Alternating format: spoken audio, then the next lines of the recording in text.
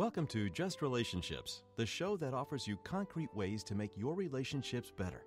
Whether it's your boss, your spouse, your children, or your friends, the quality of your relationships in life directly affects how you feel about yourself and the success you achieve.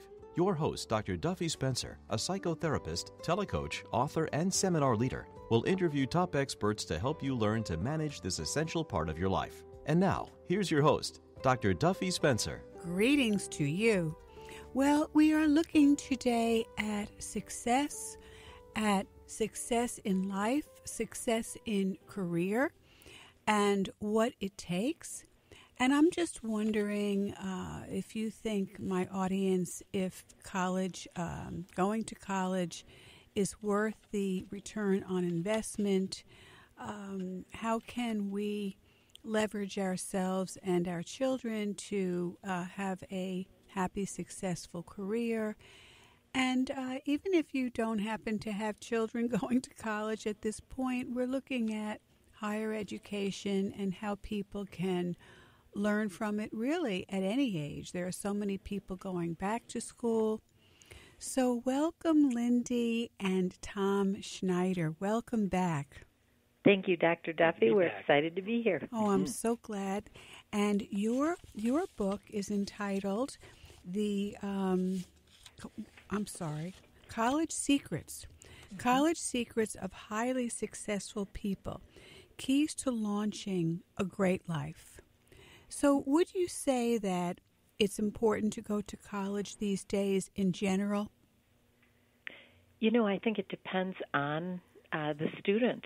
It's it's more important that they choose a career and then the college because if they're choosing a career that doesn't need college, mm. then they don't need the debt either. Um, however, there are a lot of a lot of um, careers where you have to have that college degree, and a degree quite often is the first filter in any job application. Um, so, uh, you know, so it, it's a mixed answer on that. It depends on the student and on mm. where they want to go. And I like that term you use, Lindy, first filter. And uh, are there um, bona fide successful career, careers, you would say, that don't require college? Actually, there are.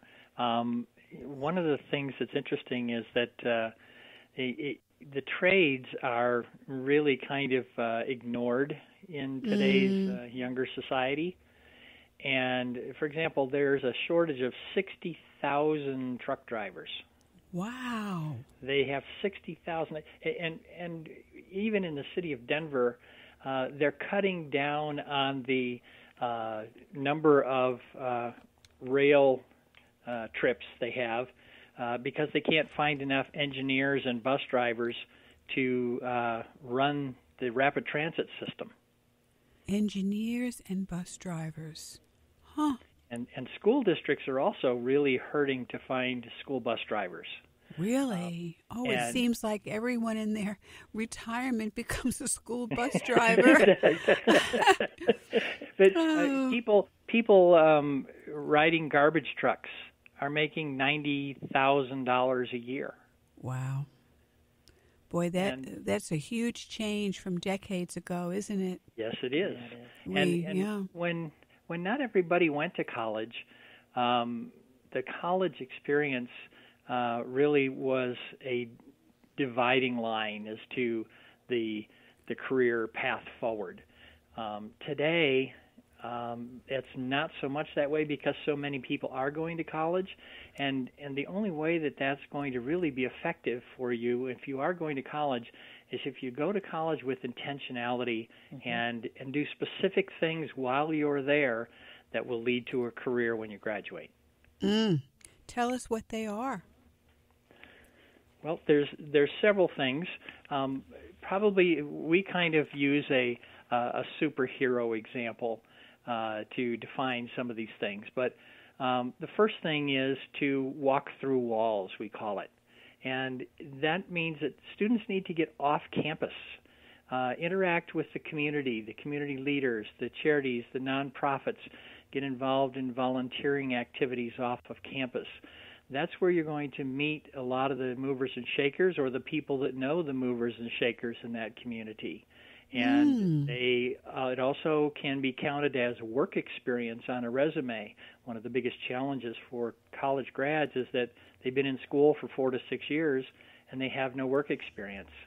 So doing that volunteer work gives you uh, the ability to put some of that as work experience on your resume and you can get in touch with the people who know the the people that could potentially hire you once you graduate. Well, I think this is a wonderful idea, Tom Schneider, author of College Secrets, co author with Lindy uh, of Schneider, College Secrets of Highly Successful People. Um, you know, I, I always lecture to my students and uh, I work with managers uh, in the American Management Association, teaching them how to really build winning teams and help uh, resolve conflict and and look at uh, closing that performance gap. And I often tell them you must continue networking even when you are working. So many people stop ne- networking once they are working and to again just what you said you network within your industry and you network with other industries i never thought to advise people to network while they are in college. Hmm. that is well, very good. And one of the things that we tell them is this is how you become fireproof. Now by that i mean you always have a job offer. You always have a recommendation or a referral. People that you can turn to in the case in in if you are laid off. And uh, you're building a superhero alliance basically not only people who are in the community but we say leap tall buildings and talk to those people that are further ahead than you in the field you want to be in because in effect those people are in your future they so they can see your future and they know how you can go from here to there. They're the, so you need a mentor, someone in your field. Okay, so leap tall buildings. You're saying find people in in your field who are who are doing well and invite them to mentor you. Yes, mm-hmm. yes, and if nothing else, sit down, ask ask them if they will have coffee with you or if you can buy them lunch and then have a series of questions. Keep it short, maybe 15 minutes, unless they invite you to stay longer, mm-hmm. and really get to know that person and get your questions answered. But have questions to ask. This is not a get together and and uh, enjoy your coffee and together. Become a buddy. it is yeah. definitely intentionality. Intentionality. It, I love it. I think one of uh, it's funny that Tom mentioned the word "be your buddy." We are finding that more and more with young people is that um, some of them, when they graduate college and they start a start their career, they get a little bit disgruntled that they're not a buddy with their boss and they can't help make decisions for the company. And it it's something that they have to learn. A lot of these young people are coming out of college not realizing there is a hierarchy and there is an authority in that company, and they don't care as much about you as they do about that company hitting the bottom line and succeeding. And they have to be a part of what the boss wants as as far as getting the company to where where it needs to go. And that's been something we've been having to work with a lot of young people about. Yeah, and the idea of doing research on the company and really be becoming a team player. Yes. Um, and unfortunately, I don't think a lot of college age people are are so geared. They we I think the society has moved from very authoritarian and uh, ma- parent male and parent oriented to being child centered centered to the extreme and Absolutely. many many children are indulged in certain ways and given so much mm-hmm. without having to uh, work their way through high school or even have that as a as an odd job or mm-hmm. um, you know, buying their own clothes, you know, finding a way to have an allowance that's and helping out in the home.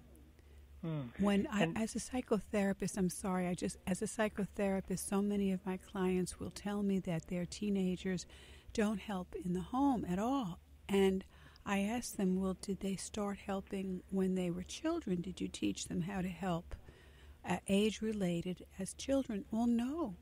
Well, how do you expect them as teenagers to even have that in the, on their uh, repertoire?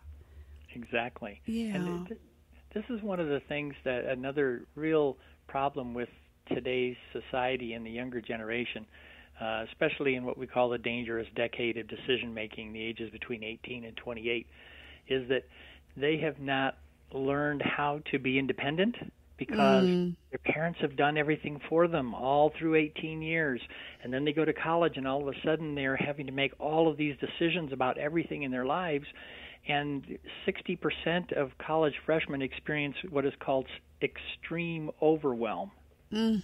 because they have not learned how to manage they haven't been given the opportunity to manage parts of their lives and make some decisions while they were under their parents' uh, roof. And this is a, a real challenge. We, we're dealing with a lot of kids 27, 28 years old now, long past college, and they're still just floundering, not knowing what to do and not not knowing how to make decisions on their own. And it's it's become a really a crisis situation. And, and how do you have contact with people 27, 28? What's been interesting is that we've had we've had uh, kids post college reaching out to us uh, that have found out about us through our website or through webinars or through our coaching, and uh, they're saying, "Hey, I know I'm not in college anymore." Or sometimes it's the parents that are contacting us that have found out about us, and they go, "I'm not in college anymore, I, but I'm still struggling to find my way, uh, mm. and can you help?" So we're actually working on developing a whole separate program for them for this, uh, you know, the 22 to 28 year olds, uh, which is more a career track uh, counseling and, and training program, so that they can finally get some some foundation under them and gain a focus of where they should go from here.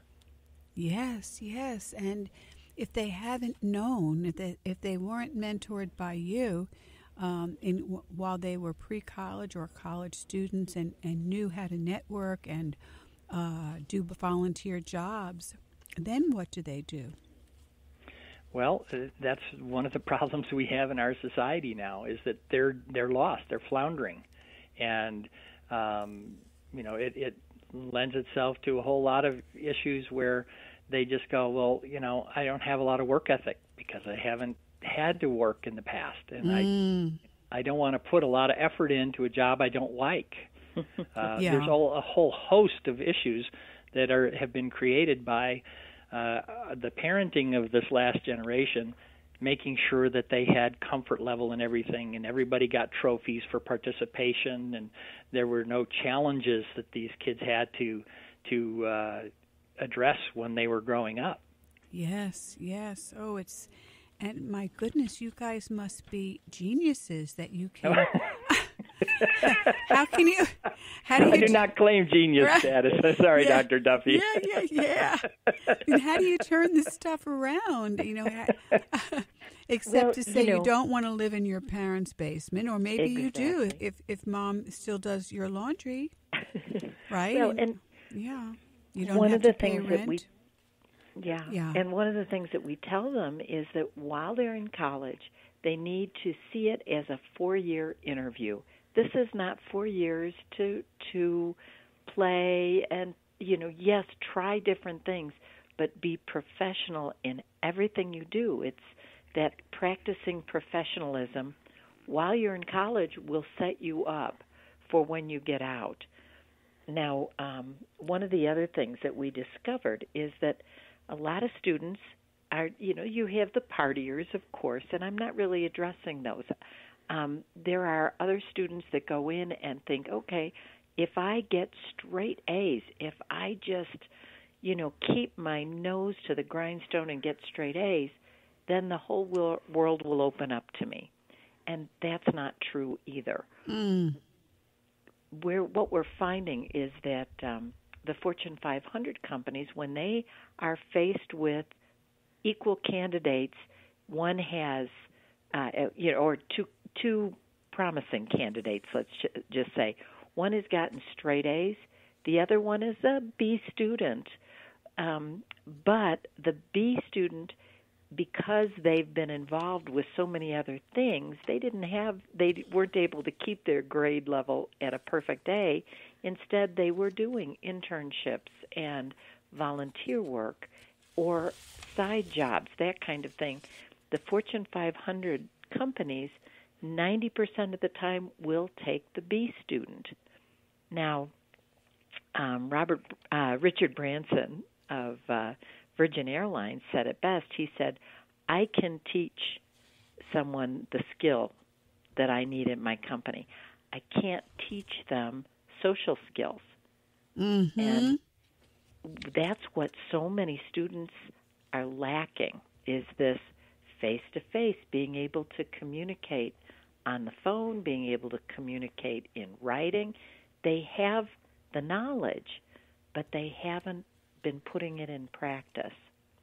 And, and that face-to-face communication, um, that's one of the things that a lot of our our uh, students that we're coaching now, uh, they really struggle with. They they grew up in a society of texting and and uh, two-word sentences and, and Snapchat and and Instagram and uh, you know little two-minute YouTube videos, and they don't they don't have the natural skills that uh, their parents and grandparents learned instinctively because they've been living in a culture of, of technology where before that we had to talk on the phone, we had to meet face to face, we had to get together with friends and neighbors in order to have that relationship. And the Facebooks and, and all of these other tech things, they give the illusion of communication and mm-hmm. of uh, relationship but it's really a, a, substantial step back from having a genuine relationship with someone. And a lot of our students are, are just saying, How do I carry on a conversation with someone? Uh, how do I keep from being bored after 30 seconds of someone else saying something that I'm not interested in? Yeah, and just as you say, the basics, the eye contact, the listening, the the the back and forth, the mutuality. So my wish for for people who through no fault of their own were raised this way is to is to learn to understand the importance of it and to kind of be be mentored by people like you. Well, that's that's our mission to uh, be able to uh, reach out and and uh, have an impact on that generation between 18 and ages 28 um, you know, parents actually hire us to help their young adults successfully navigate that dangerous decade of decision making. Um, so many of them become lost or lonely or left behind during that time frame, and they don't really know, you know, where they're supposed to be in that equation. So we try to help them uh, launch a plan of action for a great life and powerful relationships and lucrative careers, whether they go to college or not. Right, right. Very good. So, at this point, what um, what can people do um, to beef up their resume, to um, learn how to interview? Where are we at this point? Well, the first thing I would have them do if if you have someone that is feeling lost and not knowing where to go next, they perhaps they've graduated from college, they've moved back into mom and dad's basement, and they just can't get a foothold, they can start right now by volunteering. Mm-hmm. Get into an organization and not just show up when it's convenient for them. Think of it as a second job and uh, show up on time, do more than what you're asked, and get to know the supervisors. Mm. Because when you can impress the supervisors where you're volunteering, quite often they are interconnected in the community as well. Um, if if possible, get an internship with a company you're interested in. And if you can't do that, then find someone that's working in a position that you might be interested in. shadow them. Ask if you can follow them. We had a um, a young man who really did not know what he wanted to do. He changed his major. I think maybe five times. Hmm. and uh and he still just he wanted he started out to be an architect couldn't figure it out. He ended up talking to the adults in his life. And his mom said well you know what? There is a uh, I have a good friend that's a physical therapist and she absolutely loves her job. Go talk to her he didn't even know what a physical therapist was. He had never used one.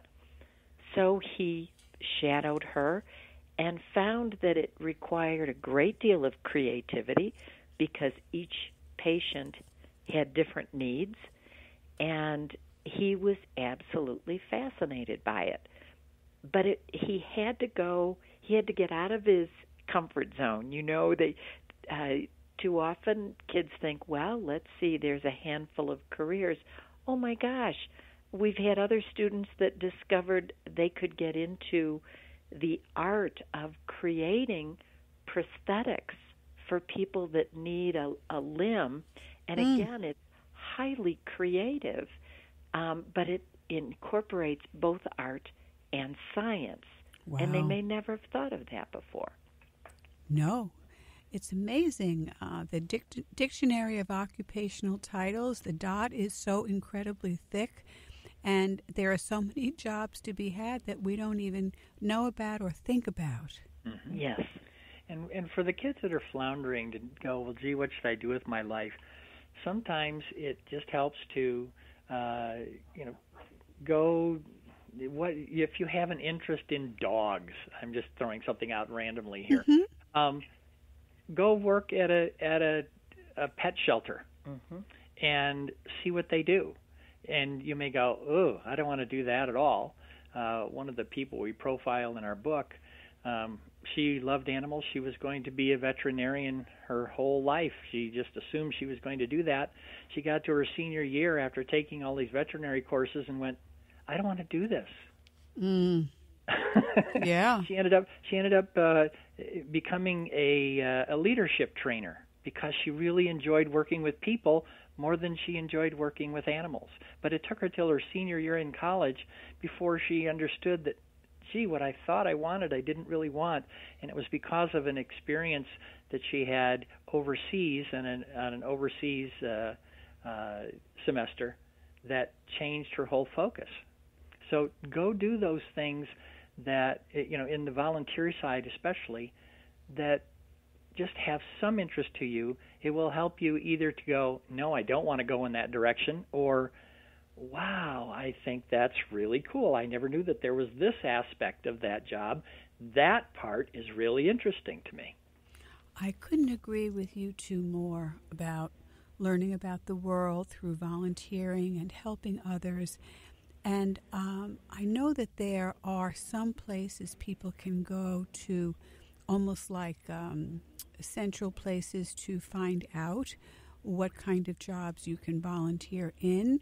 Is that readily, readily available for people? That kind of um, directory, if you will? There is. There is one, uh, an online site called uh, Charity Navigator. Oh. And you can put in um, uh, different, uh, say you want to find charities that work with foster kids for instance, you can put in the keyword foster kids and pull that up, and that's one one place to um, kind of look for things like that. Uh, another thing is, um, let's see, do you, do you can you think? Well, and even even if you go into Charity Navigator and you just browse through some of the titles, mm-hmm. not even looking for something specific, you're going to find nonprofits even in your own community, I think there's uh, five or six hundred of them just in the Metro Denver area. Um, you can just get a list of charities and see the huge variety of things that they do. And sometimes the name of the charity won't tell you what they do, but if you if you find the name interesting, go look them up. They all are going to have websites and and you know find out what they do. You, part of finding out what direction you want to go in your life is up to you. You have to start doing the research, investigating different arenas, being open to uh, opportunities and being aware of them when they appear, uh, but but doing the work to try to find out what gives you a passion. If you're not passionate about what you're doing, you're not likely to stick it out very well, and you're not likely to do a great job with it. Yes. Oh, I I couldn't agree more. And I am really surprised to hear in, in my own practice, um, so many people say they don't really have a passion, or um, women who would like to uh, start working, start doing something. They're of a certain age, they've completed the traditional chore of, uh, or I'm sorry, chore job of raising children, and uh, they're ready to go into the world again and, and they tell me they don't have any particular interests. It's really kind of starting from scratch. If you start mm-hmm. from nowhere, I have no interests. What well, what do you do with that? Yeah. It, I think that's one of the hardest things to find in your life is your why. Um, and it, mm. in some ways, rather than passion, I like to think of it as find your compassion. Mm, where you know where does your heart bleed? Is there anything that you've experienced in your life or people that you know that are struggling with something that just breaks your heart? Start there. You know, you may want to get involved in um, find out more about the cancer foundations, for instance, or working with children, or you know whatever it is. But uh, we we learned from a man um, who had been in a uh, in a mentoring circle with Warren Buffett, the billionaire, and yes, uh, wow. third richest man in the world, by the way. Yeah. Yes, yes. And Warren Buffett every year, because mentoring was so important to him, mm. um, he uh, took on he takes on twelve people every year all right. Well, um, one of the things that we uh, heard about was from this young man who was in uh, Warren Buffett's exclusive group was that he had to determine what his why was, what his purpose was, what made him get up in the morning and be excited about life. And he said, I don't know. And Warren Buffett sent him out the door. He said, Until you know your why, you can't move forward. Mm. So I think just finding that that purpose is it's hard, but it's going to take some work, and it's important that you find that that meaning in your life. Oh, wow, that is wonderful. Well, on that note, I can't thank you enough for coming back to us, Lindy and Tom Schneider, author uh, authors of College Secrets of Highly Successful People: Keys to Launching a Great Life and that is Schneider, S C H N E I D E R. And your book is readily available. And your your website is for people to um, learn about how to be mentored by you. Yep, it's America's College Advisors.com. That's advisors O R S. So America's College Advisors.com. We have lots of free resources there that people can access, uh, blog posts, um, and if they want to get in touch with us to uh, work with us directly, uh, they can also email us at uh, support at americascollegeadvisors.com. Thank you both, Tom and Lindy Schneider. And this is Dr. Duffy Spencer saying goodbye for now and wishing you great relationships.